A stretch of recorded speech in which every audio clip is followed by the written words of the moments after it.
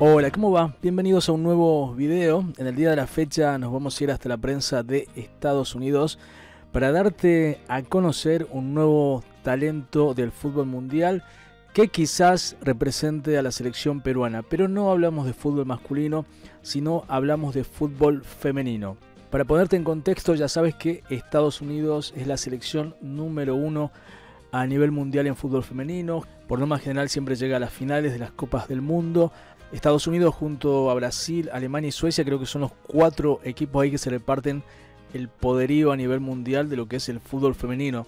¿Y por qué Estados Unidos tiene tanto talento en el fútbol femenino? Bueno, es porque invierten mucho en la formación de jugadoras. Y una de esas jugadoras que pertenece a los Estados Unidos en este momento está esperando un llamado porque va a representar a la selección peruana sub-18. Atentos a este artículo de la prensa de Estados Unidos que dice lo siguiente, cómo Elena Loli del fútbol femenino de Robertson se mantiene paciente esperando unirse a la selección sub-18 del Perú.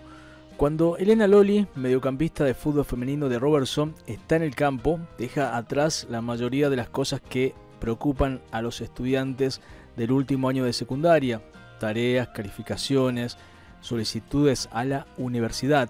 Pero hay una cosa que no puede dejar de pensar cuando está en el campo.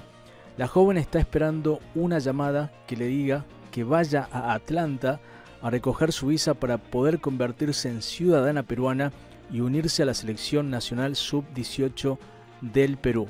Estas son las declaraciones que hizo Loli a la prensa de Estados Unidos.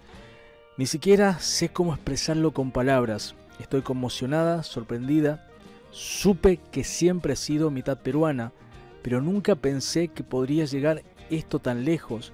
Fue necesario mucho entrenamiento y mucho esfuerzo.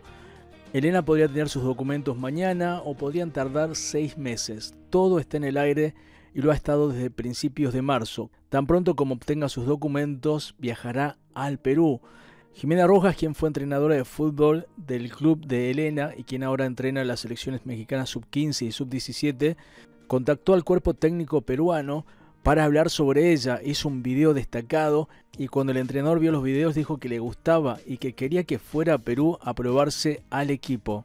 De momento Elena es paciente y se concentra en ayudar a su equipo de fútbol cada vez que sale al campo.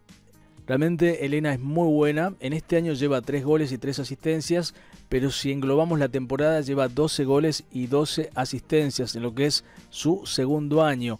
Por supuesto, ella, pese al éxito que está teniendo, no deja que su mente divague. Ella dice, siempre me pregunto, ¿me van a enviar un mensaje hoy? Siempre está ahí en mi mente, solo estoy esperando.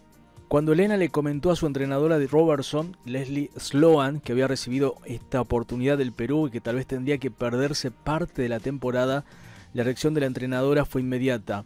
Le dijo a Elena que tenía que hacerlo. Cada vez que nuestros jugadores tengan la oportunidad de hacer algo grandioso, queremos que lo hagan, dice la entrenadora. Les animamos a todos para que hagan cosas emocionantes y divertidas. Estamos en escuelas públicas, estamos emocionados por cada logro de ellas. Y bueno, de momento Elena Loli sigue preparándose en su equipo, en las prácticas de Robertson, para lo que sigue siendo esta temporada que está disputando. Pero por supuesto su mente está en Perú porque quiere tener rodaje internacional. La entrenadora de Elena dice que si ella tiene este roce internacional con equipos como Argentina o Brasil, va a sumar descaro a su juego. Eso sería algo muy grande para nuestro club. Bueno, seguramente te estás preguntando en qué posición juega Elena Loli. Bueno, ella es una líder en el mediocampo.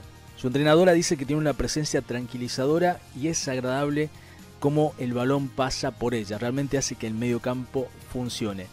Elena lleva muchos años sin pisar Perú, o sea, lo hizo desde muy pequeña y el recuerdo más imborrable que ella tiene en su mente es el helado de lúcuma, un alimento básico en el Perú.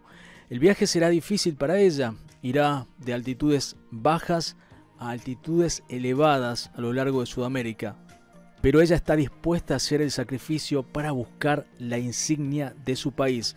Por último, ella dice, esto será un gran honor para mí porque voy a representar una gran parte de mí misma. Sé que es mucha presión, pero estoy dispuesta a afrontarla.